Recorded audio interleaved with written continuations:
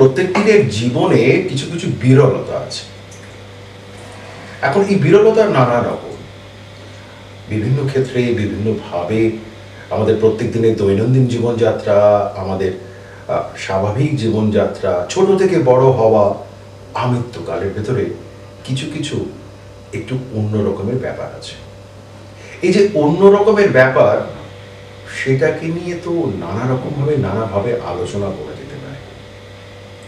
কিন্তু কিন্তু একটা বৈচিত্র্য বিষয় রয়েছে। সেই বৈচিত্র্য হচ্ছে রূপকথার গল্প।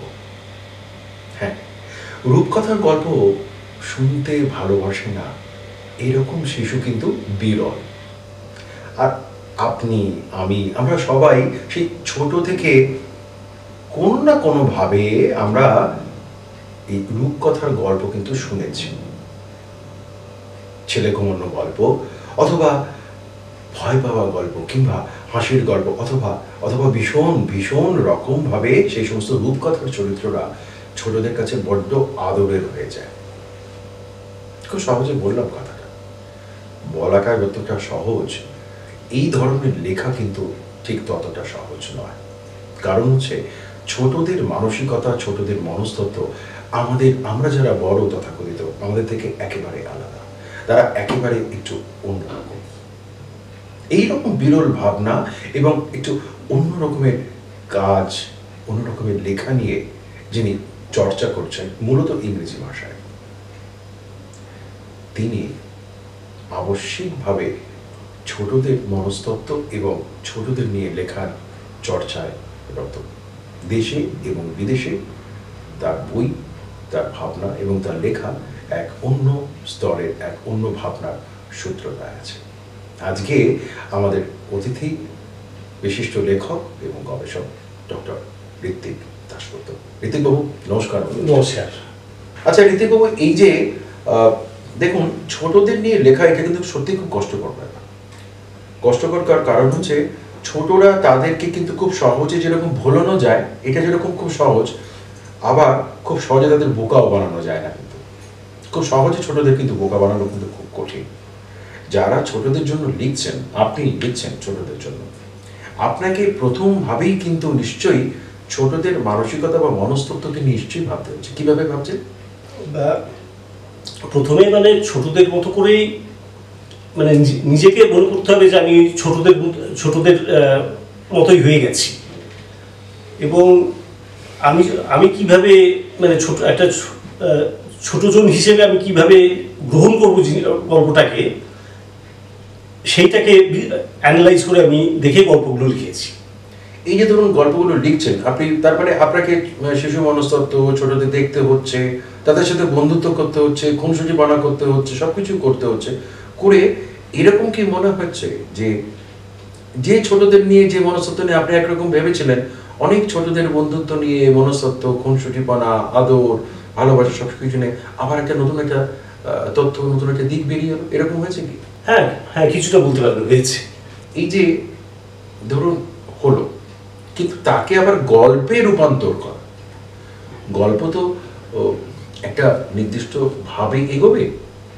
ছোটদের যদি গল্পটা যদি ভালো, যদি নাই লাগে, সে তিনটে লাইন, চারটে লাইন পড়ার পর তারপর সে আর পড়বে না।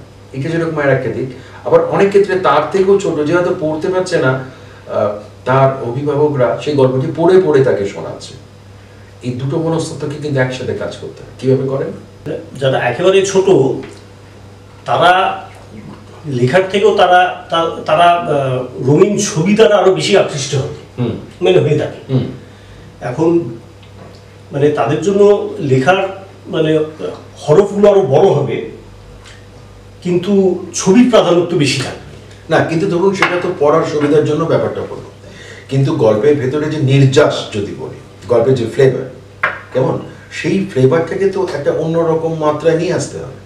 সেটাকে কীভাবে করবেন সেটা মূলত ওই ছবির মাধ্যমেই করতে হবে। মানে ছবি আচ্ছা ছবি কথা বলবেন হ্যাঁ ছবি কথা বলবে। মানে ছবির মধ্যে অনেক ইনফরমেশন থাকে। মানে এই ছবিটা যদি দেখেন মানে এই ছবির মধ্যেই প্রচুর ইনফরমেশন আছে। মানে তারা আছে স্যাটেলাইট আছে গ্রহ আছে নক্ষত্র আছে।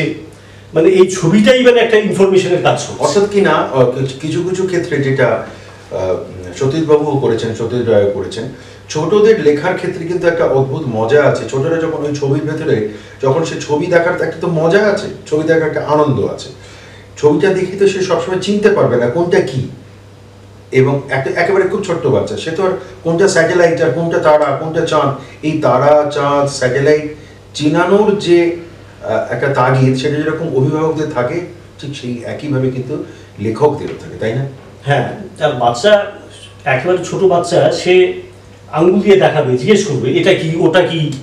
সে জানতে চাইবে তার কৌতূহল কৌতূহল। হ্যাঁ কৌতূহল। হ্যাঁ। অনেক সময় যেটা হয় যে ছোটদের যে চাহিদা ছোটদের যে লেখা আপনি যেহেতু ছোটদের জন্য লিখছেন তো সেই লেখার ক্ষেত্রে দেখা গেল যে আপনি একমুখী ভাবে লিখে যাচ্ছেন। সেই ওই যে আমি আহ, কথা শুরুতে বলছিলাম না রাজপুত্র রাজকন্যা রাক্ষস কক্ষস দত্তি দানব তো সেই সময়ের যখন লেখাগুলো হয়েছিল তখন তো এই ইন্টারনেটও ছিল না স্মার্টফোনও ছিল না ইত্যাদিও ছিল না। তো এই সমাজ বদলাচ্ছে। সংস্কৃতি হ্যাঁ। হ্যাঁ হ্যাঁ। এই বদলের সাথে সাথে তার প্রভাব কি লেখার উপর পড়ে পড়ছে? তার প্রভাবও কিছুটা লেখার মধ্যে আসবে। সেটা অতীতে ইন্টারনেট যেরকম মানুষ কল্পনা করতে পারতো না ভাবতে পারতো না এখন এগুলো বাচ্চাদের হাতেই এসে গেছে। তাই স্মার্টফোনের মাধ্যমে কোনো বাচ্চা সে কোনো একটা ছবি নিজেই হয়তো বার করে নিতে পারবে। আচ্ছা হ্যাঁ। বার করে নিয়ে কোনো একটা বই মানে এই বইয়ের যদি একটা ইউটিউবে থাকে বা সফট কপি থাকে নেটে যদি লিঙ্ক ধরে যদি সে পেয়ে যায় সে নিজেই ঘেটে ঘেটে বার করবে। সে হয়তো আর মা বাবাকে চাইবেই না গল্প বিশ্লেষণ করে দেওয়ার জন্য। হ্যাঁ এটা একটা খুব ভালো কথা বললেন। অবশ্যই এটা কতটা মানে নিয়ে কতটা চর্চা হয়েছে বা সাইকোলজিস্টরা এটা নিয়ে কতটা স্টাডি করেছেন সেটা না, আমি ঠিক জানি এক্ষেত্রে যেটা একটা ব্যাপার আছে সেটা হলো যে অনেক সময় যেটা হয় যে আমরা ছোটদের এখানে দুটো বিষয় এসে যাচ্ছে জানেন? একটা ব্যাপার হচ্ছে আমরা অনেক ক্ষেত্রে অভিভাবকরা ছোটদের অনেক সময় এই যে কল্পনার যে ডানা কল্পনার তো একটা ডানা আছে তার একটা ওড়ার একটা ক্ষমতা আছে তার একটা জগৎ আছে কল্পনার জগৎ। এই কল্পনার জগৎটাকে কিন্তু খুব ভীষণ রকম ভাবে এই যারা লেখক মানুষ যারা সৃষ্টি করছেন তারা কিন্তু এই কল্পনার জগৎটাকে আরও বেশি উস্কে দেয় তাই না? হ্যাঁ। এবং এইরকম মানে একেবারে ছোট বাচ্চাদের ক্ষেত্রে এই গল্প যেটা আমরা পাচ্ছি তার থেকে এই ছবির মধ্যে সে যদি অন্য কোনো একটা গল্প হয়তো সে খুঁজে পাবে যেটা লেখকের মাথায় আসে। বা এখানে তো আপনি একটা অদ্ভুত চমৎকার একটা অন্য দিককেও একটা উন্মোচন করলেন। অর্থাৎ কিনা আপনি গল্পের জন্য যে ছবিকে নির্মাণ করেছেন যে ছবি ছবি আঁকা হয়েছে যে চিত্র আঁকা হয়েছে সেই চিত্র থেকেও কিন্তু সেই একজন ছোট্ট পুচকি পাঠক বা পাঠিকা সে কিন্তু আবার একটা কল্পনার জগতে নিয়ে আসতে হচ্ছে এটা নতুন হ্যাঁ হ্যাঁ সে একেবারে মানে সে সে ছবির মধ্যেই একটা আলাদা গল্প খুঁজে পাবে যেটা হয়তো লেখক লেখেইনি অনেক সময় যেটা হয় এই যে কল্পনা আপনি যেটা আমাদের অবশ্যই প্রথম থেকে শেষ অবধি আমাদের এই কল্পনাকে নিয়ে আমাদের থাকতে হবে এই কল্পনার জগৎ নিয়ে থাকতে হবে। ছোটদেরকে অনেক বেশি বাস্তবতার যে প্ল্যাটফর্ম সেই সেই জায়গাতে না দিয়ে আমরা কল্পনা জগতে নিয়ে যদি ভালোবাসি এবং তাদের আনন্দ তাদের ভীষণ রকমভাবে উচ্ছ্বাসতা সেটাই কিন্তু একজন লেখককে আরও বেশি উৎসাহিত বোধ করে। ঠিক কিনা? আপনি সেটাকে হ্যাঁ হ্যাঁ হ্যাঁ। মানে বাচ্চাদের কল্পনাটাকে সেটাকে আরও মানে ফুলিয়ে তোলার যদি আমরা তৈরি করতে পারি বা সেটাকে যদি আরও বাড়িয়ে দেওয়া যায় তাতে করে লেখক তিনি নিজেই সমৃদ্ধ হবেন আপনি দীর্ঘদিন বিদেশে ছিলেন। বিদেশে আপনার পড়াশোনা, বিদেশে থাকা কিন্তু আদ্যন্তে আপনি বাঙালি। আদ্যন্তে কিন্তু সেই আপনি রাক্ষস, খক্ষস, দত্তি, দানব, রাজপুত্র, রাজকন্যা, পক্ষীরাজ, এই সমস্ত আপনিও আপনার নিশ্চয়ই ছোটবেলায় এই সমস্ত গল্প শুনে একটু একটু করে বড় হয়েছে তারপরে যখন দীর্ঘদিন বিদেশে থাকা সেখানে পড়াশোনা, সেখানকার একটা অন্য পরিবেশ, এমনকি সেখানকার বাচ্চাদেরও ভাবনার একটা অন্য পরিবেশ। কি মনে হয়েছে? এই যে দুটো জায়গা, দুটো জায়গার ক্ষেত্রে বাচ্চাদের মনস্তত্ব বা মানসিকতার কি কোনো সূক্ষ্ম ফারাক চোখে মানে? কিছুটা ফারাক চোখে পড়বে মানে পরিবেশের সঙ্গে কিছুটা তফাৎ আসবে। যেমন শীত আমি মূলত শীত প্রধান দেশেই ছিলাম। এখন শীত প্রধান দেশে থাকার ফলে সেখানকার পরিবেশ সেখানকার ক্লাইমেট সেগুলো সম্পূর্ণ গরম জায়গার থেকে আলাদা। তাই সেখানে যদি কেউ বটগাছের কথা বলে, সেখানকার ছেলে কিন্তু সেটা বা কোনো বাচ্চা, সে কিন্তু বুঝতে পারবে না বটগাছ সম্বন্ধে। আর গরম দেশে যেই সকল বাচ্চারা বড় হচ্ছে, এখন টিভির যুগে তারা শীতের দেশে কি পাওয়া যায় তারা জানে। কিন্তু অতীতে যখন টিভি বা ইন্টারনেট ইত্যাদি মিডিয়া ছিল না, তখন তাদের পক্ষে পাইন গাছ কীরকম হবে বা একেবারে বরফাচ্ছন্ন পাহাড় কীরকম হবে সেটা তার কাছে তার কাছে সেটা একটা অবাস্তব জিনিস তার মানে এই এই কিছুটা। এই অবাস্তব বাস্তবতার ক্ষেত্রে একটা একটা তো সূক্ষ্ম ফারাক আছে বটেই দেখার ফারাক আছে অভিজ্ঞতার ফারাক আছে এবং ধরুন হয়তো তার পরিবারের কেউই হয়তো সেই বিদেশে যায়নি। খুব স্বাভাবিকভাবে হ্যাঁ। তারও দেখার একটা তো দেখার ব্যাপারে রয়েছে দৃষ্টিপাতের বিষয়টা রয়েছে ছোটদের দেখার ক্ষেত্রে যখন একটা অন্য রকমের ধারা যখন একটা তৈরি করতে হয় অর্থাৎ কিনা বুঝতে পারা যায় যে তিনি তার মতন করে লিখছেন ছোটদের লেখা সত্যি খুব কঠিন। আমি আবারও বলছি, ছোটদের লেখা কিন্তু খুব কঠিন। ঋত্বিকবাবু দীর্ঘদিন বিদেশে থাকাকালীনও তিনি তার শিকড়ের টান কিন্তু ভোলেননি। তিনি দেশে ফিরে এসছেন, দেশেই তার শিক্ষকতা, দেশে তিনি চর্চা করছেন, এমনকি তার সাথে আমি নিজে কথোপকথনে আড্ডাতেও আমি দেখেছি, তার দেশের প্রতি তার টান, দেশের প্রতি তার ভালোবাসা, সেই জন্য তিনি কিন্তু দেশে থেকে গেছেন। শিশু মানসিকতা লেখা খুব কঠিনের যে জায়গাটা, সেই কঠিনের জায়গাটাকে সত্যি ঋতিবাবু পারলেন নাকি পারলেন না? নাকি নাকি তিনি মনে করছেন যে তিনি তার মতন করে লিখছেন আর ছোটরা তার মতন করে পড়বে? হ্যাঁ, এইটা কিন্তু আমার কিন্তু একটু হ্যাঁ। প্রয়োজন জানব। তবে তার আগে একটা বিরতিতে যেতে হচ্ছে। বিরতির পর ফিরে আসছি সাথে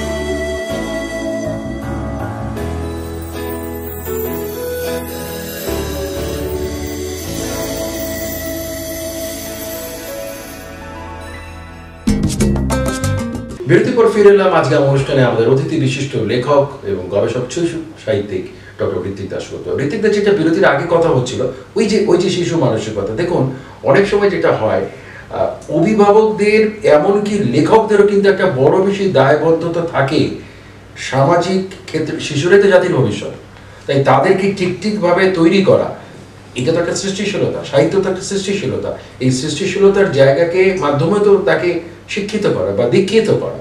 এই জায়গা থেকে দাঁড়িয়ে তাদেরও কিন্তু একটা দায়বদ্ধতা আছে। আপনার কি মনে হয় আপনি সেই দায়বদ্ধতা পালন করতে পেরেছেন? মনে হয়? আমি চেষ্টা করে যাচ্ছি চেষ্টা করছি। এখনও পেরেছি কিনা বলতে পারছি না। সে পরবর্তী পরবর্তীকালে সেটা বাচ্চারাই বড় হয়ে হয়তো বলবে। করতে পারবে হ্যাঁ, যে নিজের- বই পেয়েছিলাম নিজের কাছে সেই ব্যাপারটা রয়েছে যে হ্যাঁ চেষ্টাটা চলছে। হ্যাঁ চেষ্টা চলছে এবং এই লিখে বা এইসব ছবি তৈরি করে একটা এমন একটা মানে আনন্দের মার্গে চলে যাওয়া যায়। মানে যখন ওই মার্গে পৌঁছে যাই, তখন বুঝতে পারছি যে মানে আমার লক্ষ্যের আমি কাছে এসেছি। অনেক সময় কি এরকম হয়েছে যে, ধরুন যে ভাবনা বা যে লেখাটা আপনি ভাবলেন, ছোটদের জন্য একটা প্লট তৈরি হলো একটা ভাবলেন। সেই ভাবনার লেখাটার একটা প্রাথমিক একটা খসড়াও হয়তো হয়েছে, হয়তো একটা লেখা হয়েছে। কিন্তু সেটা একটা আচমকা বদল করিয়ে দিল আচমকা বদল ঘটে গেল পরবর্তী পর্যায়ে কোনো শিশুদের সাথে কথা বলে বা কোনো একটা ঘটনার সংমিশ্রণে এসে সেই গল্পটার আদতেই প্লটটা বদলে গেল হয়েছে কি না ঠিক সেরকম না। মানে আমি যেটা মানে আমার অভিজ্ঞতা হচ্ছে যে লেখার সময় মানে প্রথমে কয়েকটা চরিত্র তৈরি করে একটা লেখা আরম্ভ। তারপরে দেখা যায় কি মানে লেখা সে তার সে নিজেই মানে টেক ওভার করে। মানে মানে কজ অ্যান্ড এফেক্ট এইটা হলে এইটা হবে এইটা হলে ওইটা হবে। এইটা ফলো করলে দেখা যায় কি মানে গল্পই তারপরে লেখককে তার মানে গল্প নিয়ন্ত্রণ- করছে। গল্প নিজে কিন্তু ধরুন কিন্তু মানে লেখক তার তার সে নিজের স্বাধীনতা আস্তে আস্তে হারিয়ে হ্যাঁ কিন্তু স্বাধীনতা সে যদি ওই ধারার বিরুদ্ধে যায় তাহলে কিন্তু গল্পটা আসবে না। হ্যাঁ সেটা সবই মানলাম এবং গল্পটা মানে মানে গল- গল্প লেখার সময় যখন একটা প্রবলেম আসবে মানে গল্প অনেক রকম প্রবলেম থাকে। একটা প্রবলেম আসবে। এখন সেই প্রবলেমটা কীভাবে অতিক্রম করা হলো। মানে সে মানে সেটাকে অনেক ভেবে মানে কীভাবে অতিক্রম করব সেটাকে ভাবতে হবে। হ্যাঁ সেটা তো হ্যাঁ, সেটা তো লেখকেরই দায়িত্ব। হ্যাঁ, লেখক ছাড়া না, সেটা না, না, সেটা করলে গল্পটা এনরিচ হয় কিন্তু সেটাকে যদি কেউ পাশ কাটিয়ে যায় লেখক তাহলে কিন্তু গল্পটা ফ্ল্যাট হয়ে যায়। সেটা তো খুব স্বাভাবিক। কিন্তু ধরুন অনেক সময় তো এরকম মানে গল্পের ধারার বিরুদ্ধে একেবারেই যাওয়া যায়। গল্পের ধারার বিরুদ্ধে যাওয়া যাবে না। কিন্তু অনেক সময় তো এরকমও হয় যে আপনি যে গল্পটাকে যে ধারাতে বা যে স্টাইলে আপনি নিয়ে যেতে চাইছেন আমি নিয়ে যেতে পারছি না গল্প টেক ওভার করে গল্প আর কিছু করার টেক ওভার করে ফেলেছে কিন্তু আপনার মানে- সেই নিয়ন্ত্রণের ভেতরে কিন্তু আপনার নিজস্ব কোনো নিয়ন্ত্রণ নেই একজন লেখক হিসেবে। এখানে তো মানে একেবারে শেষের দিকে নিয়ন্ত্রণ থাকে না। একেবারেই নেই। মানে প্রথম দিকে নিয়ন্ত্রণটা আমার হাতে থাকে। ক্রমশ গল্প নিজে টেক ওভার করতে আরম্ভ করে। তারপরে গল্প এগিয়ে নিয়ে যাচ্ছে। তা- হ্যাঁ, মানে গল্পের গল্পের কিছুটা সে আমাকে কিছু নিয়ন্ত্রণ করছে আমিও আমারও কিছুটা কন্ট্রোল আছে। কিন্তু শেষের দিকে আর সেই কন্ট্রোল থাকে না।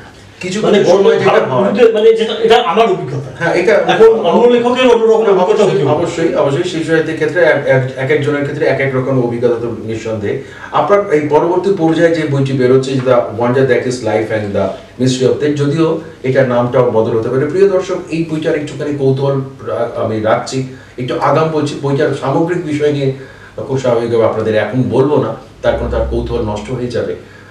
কিন্তু বিভিন্ন রাশিয়ান গল্প আছে, বিভিন্ন রাশিয়ান গল্পের ভেতরে ছোটদের জন্য গল্প আছে, সেখানে নানা রকমের মজার চরিত্র, নানা রকমের সুন্দর সুন্দর চরিত্র আছে। সেই চরিত্রগুলোর যে গল্প আছে, তার অনুবাদ নয় কিন্তু। সেই চরিত্রগুলো রয়েছে, চরিত্রের নামগুলো রয়েছে এবং সেই নামগুলোর সাথে সাথে আর একটা নতুন গল্প তৈরি হচ্ছে। এটাই পুরো, এটা ইংরেজিতে হচ্ছে দেশে এবং বিদেশের দুটোর সাথে একই সাথে বেরোবে। দেখুন আমাদের দেশে ছোটদের কতগুলো নির্দিষ্ট বাংলা ক্ষেত্রে আমি যদি বলি ছোটদের কতগুলো নির্দিষ্ট চরিত্র আছে আমি একেবারে নাম ধরে ধরে বলছি। Hada Bhoda Batul the Great. Nonte Fonte আরেকটু বড় হলো ফেলুদা আরেকটু বড় হলো হর্ষবর্ধন গোবর্ধন আরেকটু বড় হলো ঘনাদা ইত্যাদি ইত্যাদি টেনিদা অর্থাৎ একটা চরিত্রের নাম সেটা এমনভাবে প্রথিত হয়ে যায় একজন বাচ্চা সে কিন্তু বুঝেই গেছে টেনিদার গল্প মানে কিন্তু হাসির গল্প হবে। হ্যাঁ হ্যাঁ। হাদাবোধার গল্প মানেই কিন্তু একটু বোকা বোকা একটু হাসি আবার একটু রহস্য সব কিছু থাকবে। আবার যখন আমি ফেলুদার কথা বলব তখন সেখানে কিন্তু ভীষণ সিরিয়াস ভীষণ রহস্য কোনো ব্যাপার। এইখানেই তো বোধ হয় একজন লেখকের তার একটা বড় সাকসেস তিনি একটা নির্দিষ্ট চরিত্রকে প্রথিত করে দিতে পেরেছেন। আপনার ক্ষেত্রে আপনি কীভাবে কাজটা করবেন বা করেন? আপনার কল্প চরিত্র কি? আচ্ছা এই এই মানে নেক্সট বই যেটা পড়ছি এই মানে এটার এই গল্পের ব্যাকগ্রাউন্ড বা পটভূমি হচ্ছে মানে তুষার যুগের ঠিক অল্প একটু পরে। মানে সেই সময়ে শুধু মানে বেঁচে আছে মানে এই গল্পের মধ্যে বেঁচে আছে শুধু তিনজন তিনটে মানুষ মা বাবা এবং তাদের মেয়ে। তা তারা কি ওই মেয়েটা ওই পরিবেশে কীভাবে বড় হচ্ছে মানে এটা পুরোপুরি মানে বাস্তব গল্প নয়। এটা এর মধ্যে কিছুটা রূপকথার এলিমেন্টও আছে কিছুটা স্পিরিচুয়ালিজমও আছে এবং সে মানে গল্পটা ওইভাবে তৈরি হয়েছে। আচ্ছা আমার মানে এই এটা এই- এটা তো এই এটা তো আপনার এই গল্পের ক্ষেত্রে হ্যাঁ, এলো আর- আমি যেটা বলতে চাইছি একটা খুব স্পষ্টভাবে আপনাকে জিজ্ঞেস করছি আপনি আপনার ছোটদের জন্য ধরুন সিনজিয়ানের লিটল স্টার বা আপনার পরবর্তী যে বই আপনি আপনার ছোটদের গল্পের জন্য কি কোনো একটি নির্দিষ্ট নতুন কোনো চরিত্রকে কল্পনা করে সৃষ্টি করেছেন বা করতে চাইছেন বা ইচ্ছে হ্যাঁ এই গল্পে সৃষ্টি হয়েছে। এই গল্পেও মানে সিন্ধি হচ্ছে নতুন চরিত্র। এই গল্পেও এই গল্পেও মানে নতুন চরিত্র। মানে মা বাবা এবং তাদের কন্যা তিনজনেই নতুন চরিত্র। নতুন নতুন চরিত্র। আর যেহেতু মানে এই মেয়ের সবসময় মানে মনে একটা প্রশ্ন যে তাদের চারপাশে এত রকম জীবজন্তু আছে মানে এত রকম গাছপালা আছে তাহলে ওরা শুধু তিনজন মানুষ কেন? এইটা ওর কাছে একটা বড় প্রশ্ন।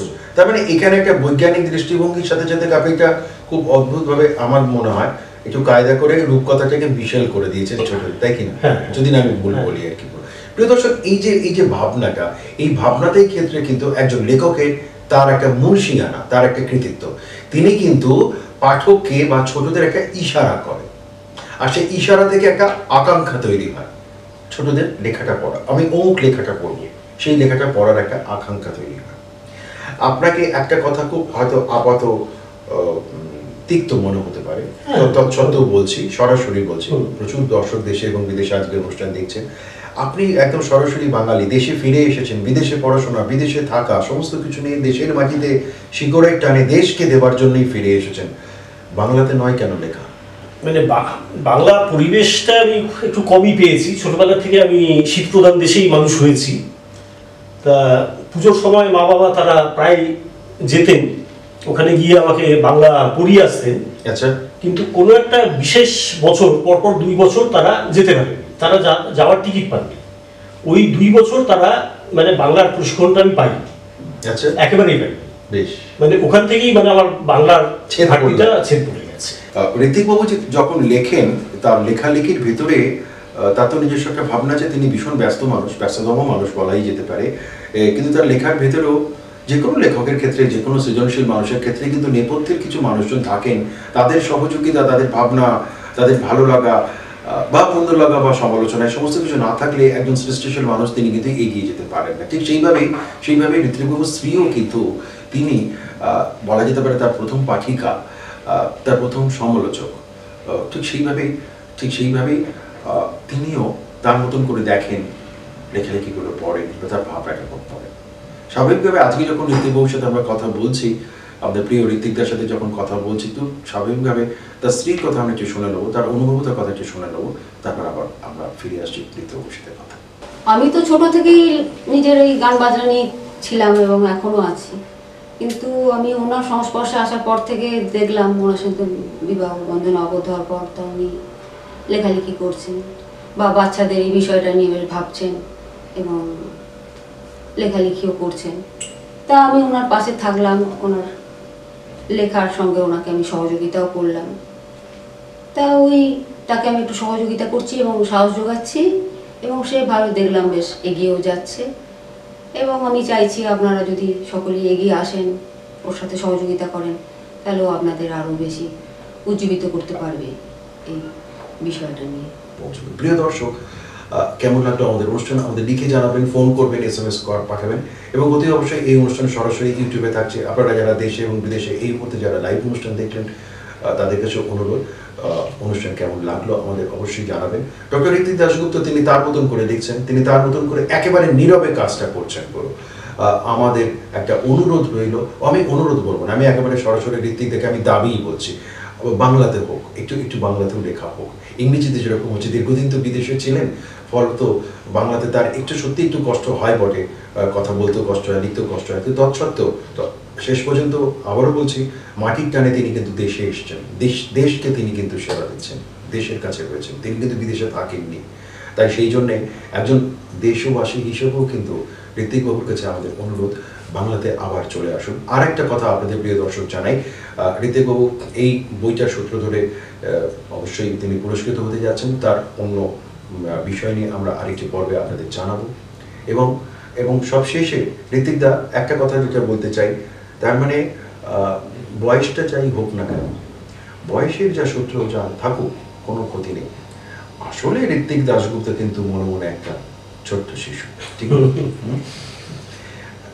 মানে মোটামুটি সবাইকার মধ্যেই একটা ছোট্ট শিশু লুকিয়ে থাকে। তাই আমার লেখার মাধ্যমে উদ্দেশ্য হচ্ছে সেই ছোট্ট শিশুটাকে মানে প্রত্যেকটা অ্যাডাল্ট মানুষের মধ্যে ওই ছোট্ট শিশুটাকে খুঁজে বার করে আনা। এই আমার বার করাটাই আমার অন্বেষণটাই অন্বেষণটাই হচ্ছে কাজ।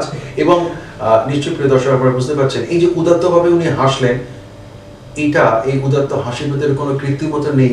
আসলে ওইটুকু সময়ের জন্য কিন্তু তার একটু শিশুসুলভ ভাবনা চলে এসছে। ঋতিকদা ভালো থাকবেন। আমাদের অন্য আর একটা পর্বে অন্য আর একটা ভাবনায় আপনার সাথে কথা হবে। কথা হয়তো হবে বড় সুলভ ভাবনা থাকবে শিশু সুলভ। খুব ভালো থাকবে আচ্ছা ধন্যবাদ। আমার লিখতে খুবই ভালো লাগে, আমি সেই জন্যই লিখি। আমার পেছনে কোনো প্রেশার নেই লেখার জন্যে। লিখে আমি আনন্দ পাই। এখন আনন্দ পাওয়াটা খুবই দরকার। আর লেখার সময় এই যে আনন্দ পাওয়ার যে পাচ্ছি, তখন মনে হয় যেন আমার চারপাশে অনেক ছোট শিশু রয়েছে। আমার কাল্পনিক জগতের ছোট শিশু রয়েছে। এবং তাদের আমি জীবন্ত করে তুলতে পারছি এবং জীবন্ত করে তুলতে, তুলে ফেলার ফলে আরও অন্য শিশু যারা রয়েছে তারা আনন্দ পাচ্ছে। এবং সেটাই আমার আনন্দ।